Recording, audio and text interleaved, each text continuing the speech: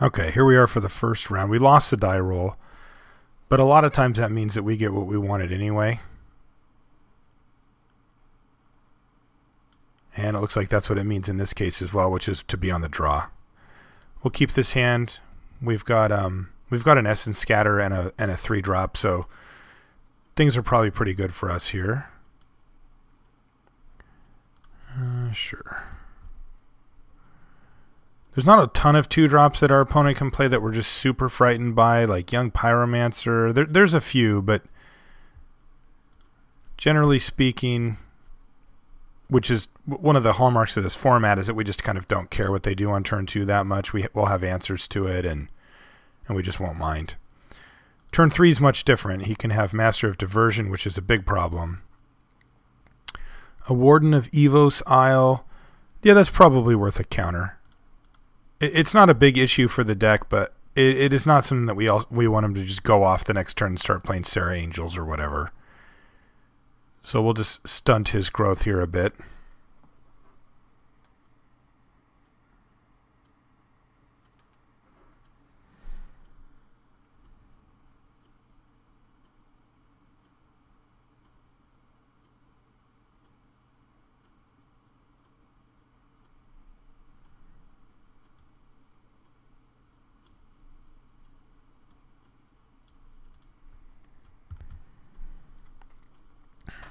Okay, and uh,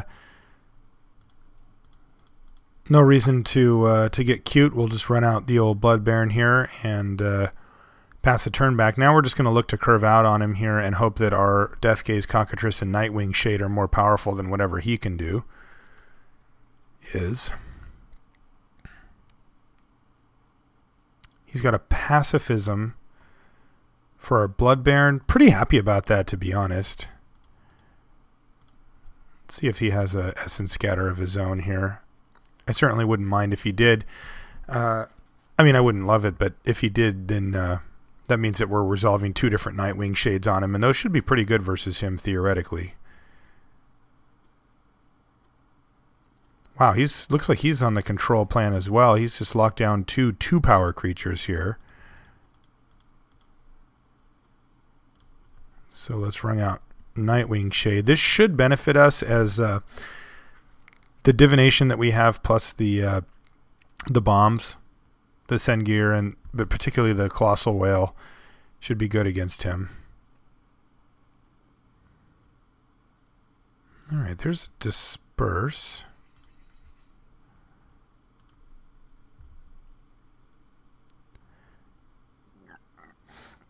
This could get a little sketchy here.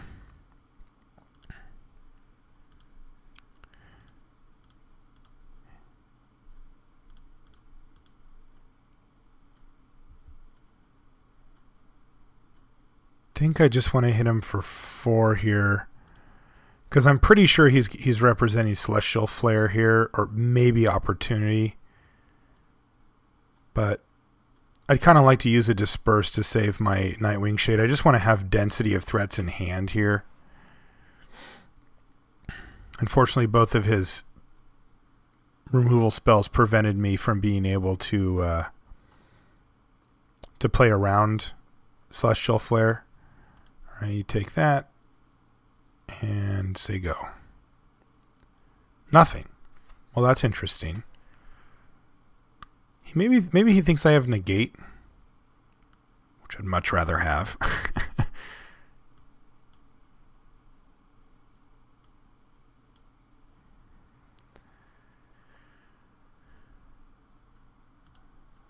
yeah, so he just does nothing.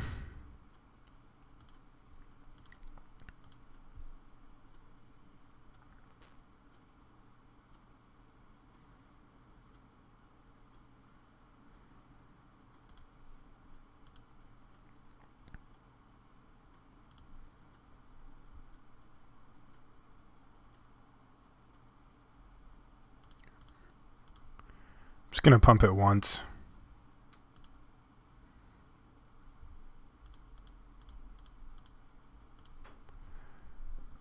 This is potentially incorrect for me to play this because um, you could have a sweeper like planar cleansing, But the reason why I don't think he has that is because he played claustrophobia and pacifism on my two kind of not really that great creatures.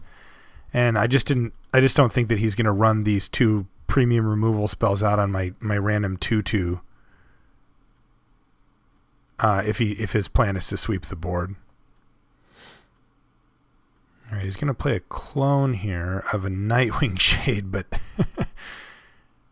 that's not going to be really what he wants to do here. I mean, I think you'd clone Deathgaze Cockatrice if you were going to do that.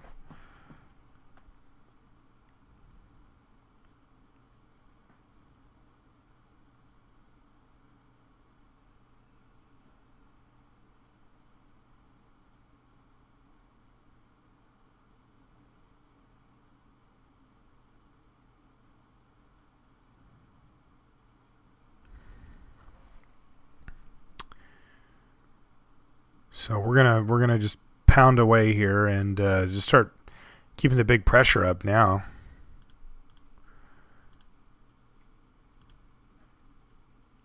He can't really block. Yeah, he just okay.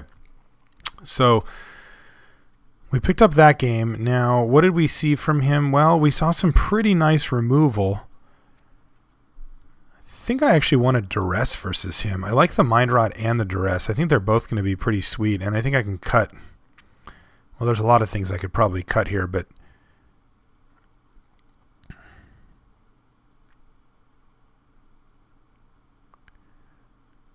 think I'm going to cut a blood baron. Could have also cut the uh, sensory deprivation. It doesn't look like he's really aggressive, but Eh, you never quite know. And it's it's it's rarely just like a, a, bad magic card. It's just sometimes it's much much better than it is, but it, it its floor isn't that low. All right, that seems good. Probably just gonna run the Seacoast Drake out there on turn two, and then just mind rot him at an opportune time.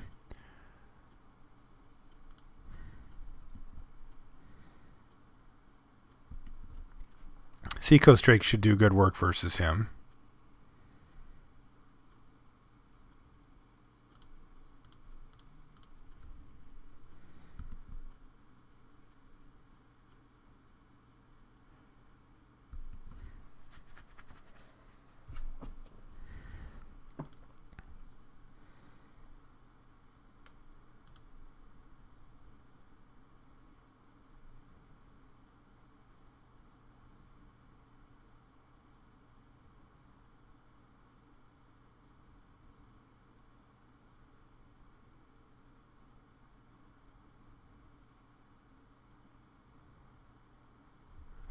So I could just mind rot him right away, but this gives him so many options. It's often much better to to wait till they've played out a few of their early drops, you know, their threes or their fours, kind of get some lands and some stuff out of their hand, and then and then really get them so you can get their bomb, or maybe you know, you, the dream would be like to get an opportunity out of their hand or something along those lines. Having mind rot in your opener is pretty good drawing it late in the game when they're already down to either zero or one cards is is just misery. But that's why divination's so much better than mind rot because if you have it in your opener, you're pretty happy. You're going to be able to smooth out your draw, refill after you've kind of dumped your hand, or if you draw it late in the game, it's it's just one of the best things you can see. Mind rot less so.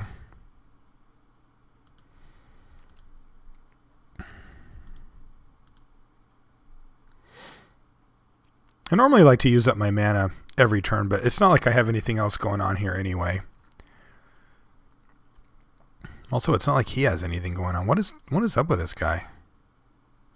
Ooh, that's a good one. I really like drawing that one. Because now I can actually get an idea. Now, there's that opportunity I wanted to get. Quicken shoot. So, so what he's going to be able to do is when I mind rot him, he's going to uh, discard pacifism and just play Auramancer to get it back at some point. So let's, let's take a quick screenshot here. And I'm going to just take the opportunity for now because we know that we're going to want to get rid of that. And I'll attack him.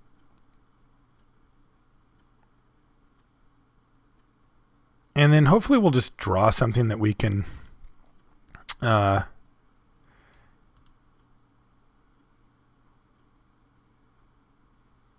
yeah, we've actually got a lot of sweet options here. So he's going to fire off this Quicken to cycle it. And he's probably just going to play Ajani's Chosen here. And we're just going to Doomblade it. I don't want to let him pacify. Ooh. Dawnstrike Paladin. Dawnstrike Paladin, I think we can just get away with sensory deprivation on it and kind of not carrying beyond that. So his hand right now is Auramancer, a Johnny's Chosen Pacifism Unknown card because he played a Plains. So I think we probably Mind Rot him.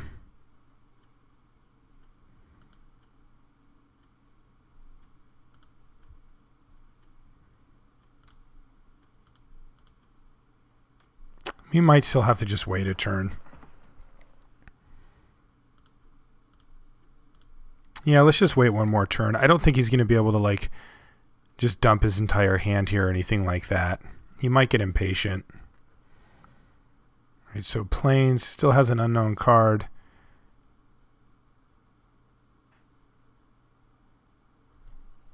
Ah, he's got an Archaeomancer now.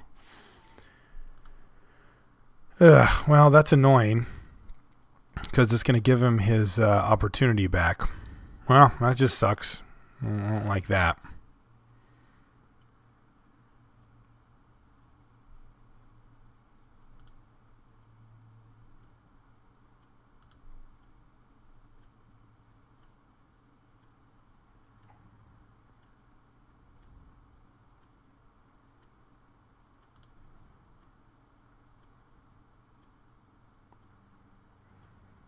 Corpse are not great here.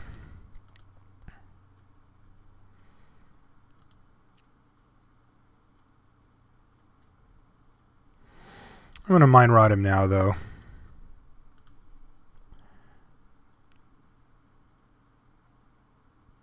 He could. He's going to discard pacifism and something else. He can keep opportunity and Arca and uh, Auramancer in his hand.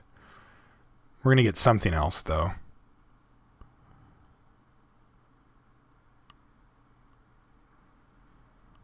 All right, so we got rid of the chosen, which is which is okay. I mean, it's not really great to be honest because we uh,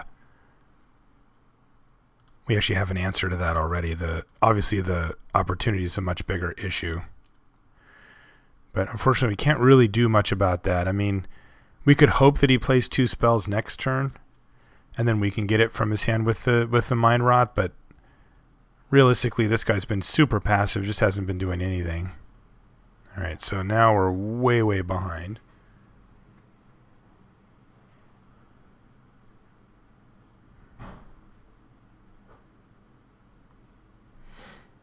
Sure. But we have a ton of draws, and we don't know what he's got in his hand. Ooh, there's a good one.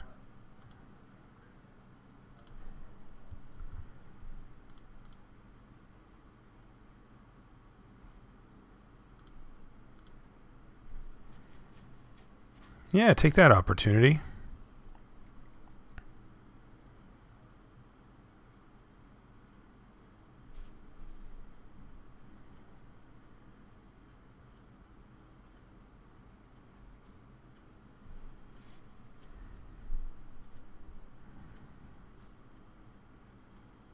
So he's got Auramancer in hand. That's the only known card. And unfortunately, we didn't really hit here, and uh, so we're just battling. I mean, we're, we're chipping away at his life total, but we're basically just digging for a bomb. We're looking for a whale or, a, you know, even a Nightwing Shade would be fine here. I like our threat density. We've got a lot of options. If we, we don't really care about any big bombs he plays because we have three essentially removal spells in hand here. And even if we get one of our spells countered, we can just, or one of our bombs countered, we can just buy it back with the hauler. So things are looking okay for us. All right, here's his Auramancer, but he's not, I don't think he's going to actually fire off the, uh, the pacifism here.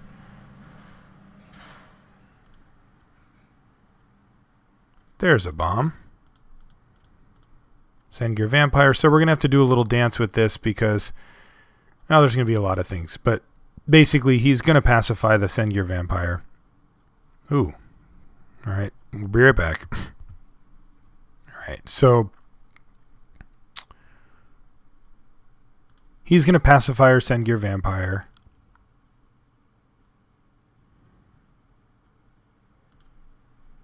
and then uh, and then we're gonna have to probably just disperse our guy or something along those lines.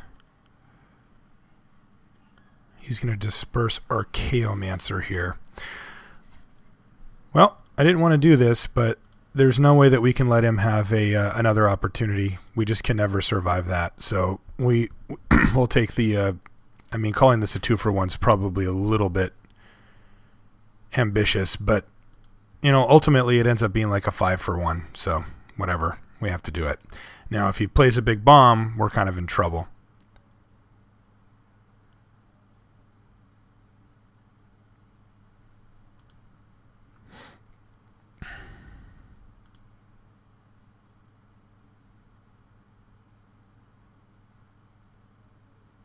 All right, Angelic Wall, a little bit annoying, but probably won't do too much here.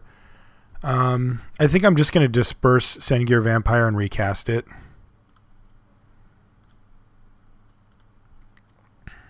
Make him have another answer.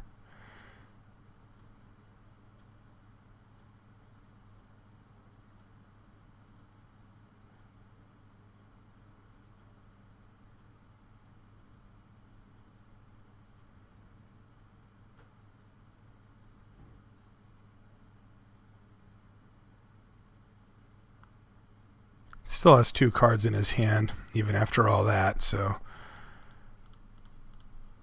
And we can now just sort of confidently cast it, because even if he runs a cancel or, or, an essence scatter, we'll be able to get it back eventually. Um, I'm not going to bother bluffing any nonsense with the Seacoast Drake. I'm just going to ship. so we've got a threat, and it looks like he's got a claustrophobia. Yeah, we, we we might have to do what we might have to do. He's down to one card in hand here, and we actually have an opportunity here to uh, time ebb our own Sengir Vampire, but it's not a play I'd normally recommend, but I gotta say, is there anything we'd rather draw more next turn than another Sengir Vampire here? Even if it, like, if I could just discard Time Ebb? I'd probably take that deal. I mean, we're just at the mercy at the top of the deck, and I think that that's probably the best card we have. So let's do it. Send the turn back here. And I, I hate making that play, I won't lie. But like I said, if, if you just stopped the game and said, okay, discard time ebb, you draw a Sengir Vampire next turn, I'd be like, yeah. I mean, at this point in the game, Sengir Vampire is a, a game breaker, and our opponent's flooded out a bit, and I want to make sure we try to get as much pressure on as possible here.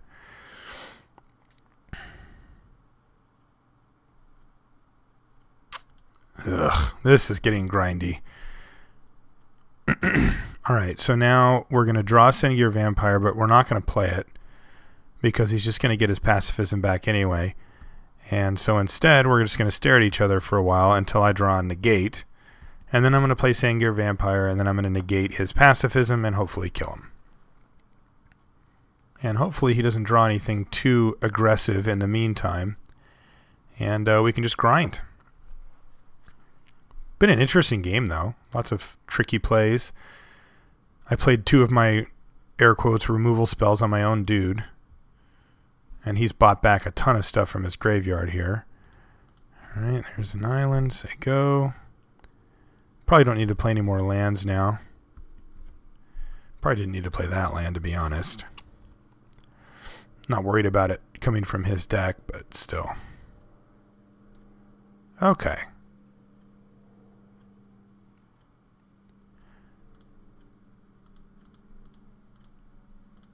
And we can do this the other way.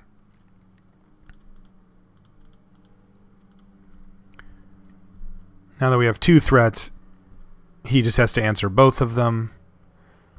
Um, and we just basically hope that he can't. Uh, if he does pacify something, it should be the shade, as it already can get bigger, and every swamp I draw can make it that much bigger. So he's got to deal with that. But he doesn't, so that means he probably has some other thing in mind. So now we're going to start playing around Celestial Flare here by attacking with our Seacoast Drake. Gives up a little bit of damage on the ground, but it's not that big of a deal. So let's attack. I think I want that Blood Baron.